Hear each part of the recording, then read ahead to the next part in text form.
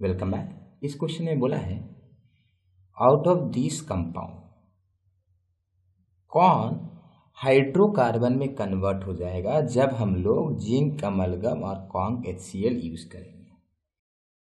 सो देखो, इसमें कॉन्सेप्ट क्या है? इसमें कॉन्सेप्ट ये है कि ये जो रिएजेंट आप देख रहे हैं ना दिस रिएजेंट किस रिएक्शन का है? ये क्लेमेंशन रिएक्शन का है। क्लेमेंशन रिडक्शन के लिए ये रिएजेंट यूज़ होता है। अब एक क्लेमेंशन रिडक्शन होता क्या है?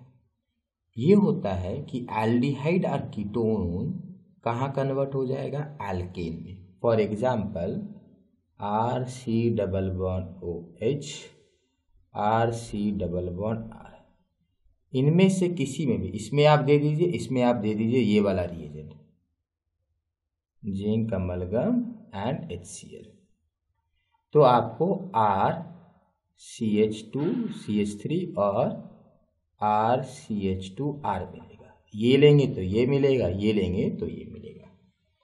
तो ये जिंक अमलगम कौन कॉन्केसियल क्या करेगा? एल्डिहाइड और कीटोन को एल्केन में बदलता है।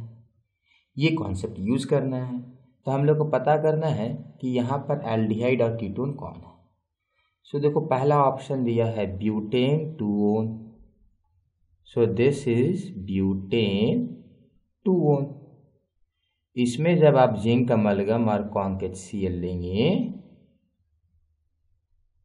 तो क्या मिलेगा? आपको एल्केन मिलेगा। अभी बताए थे क्लेमेंशन में एल्डिहाइड और कीटोन इसमें कन्वर्ट हो जाता है। ये क्लेमेंशन रिएजेंट है। तो आपको मिलेगा C H three C H two C H three मिलेगा।